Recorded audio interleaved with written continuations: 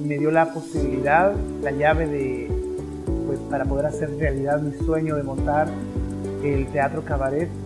y, este, y así pues encontrar una forma de homenajear a mi padre porque es un vínculo, es un estilo que a él le encantaba mucho y pues, pues él viene de la época de oro de Cuba, de la, del cine de México y de todas esas atmósferas. Con el trabajo colectivo que hicimos con el maestro Raúl Martín Ríos y con mi equipo de producción, pues llegamos a un resultado muy satisfactorio.